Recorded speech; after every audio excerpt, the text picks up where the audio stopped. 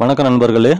இன்றைக்கி நாம் வாய் துர்நாற்றத்தை போகக்கூடிய ஒரு பதினைந்து வழிமுறைகளை பற்றி இப்போ நம்ம பார்க்க போகிறோம் உடனடியாக வாய் துர்நாற்றத்தை போக்க நறுமண பொருள்களை வாயிலிட்டு மெல்லலாம். அதாவது கிராம்பு இல்லை ஏலக்காய் இந்த போன்ற பொருள்களை பயன்படுத்தி மெல்லலாம்.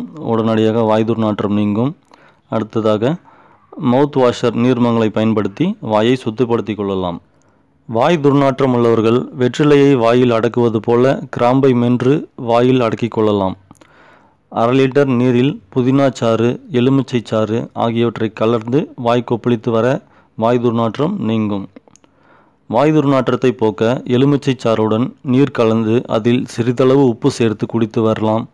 இந்த கலவையை வாயிலிட்டு கொப்பளிக்க வாய் துர்நாற்றம் நீங்கும். குடல் புண்கள் பிரச்சனையால் தான் பெரும்பாலான வாய் துர்நாற்றம் ஏற்படுகிறது.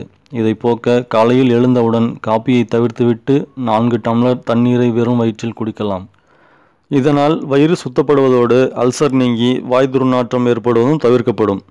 காலை மாலை இரண்டு நேரமும் பல் துளக்கி வாய் கொப்பளித்து வர வாய் துர்நாற்றம் நீங்கும்.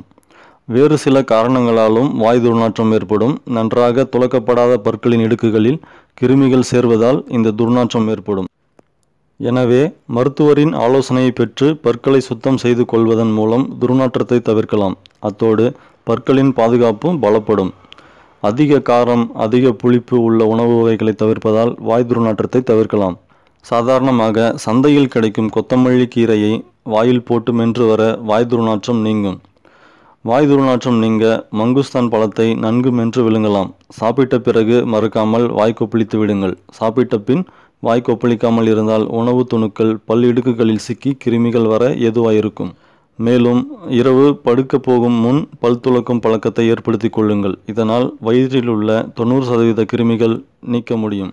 அடுத்ததாக நாக்கு சுத்தம் செய்யும் டங் கிளீனர் பயன்படுத்தி கற்றுக்கொள்ள வேண்டும். பற்களோடு நாக்கையும் சுத்தப்படுத்துவதால் வாயில் உள்ள பெரும்பாலான கிருமிகள் நீக்கப்படுகின்றன. அடுத்ததாக மாசிக்காய் எண்ணெய். மாசிக்காய் எண்ணெய் நாட்டு மருந்து கடைகளில் கிடைக்கும். இதை ஐந்து மில்லி அளவு நம் உணவில் சேர்த்து சாப்பிட்டு வர வயிற்றுப்புண் வாய்ப்புண் சரியாகும்.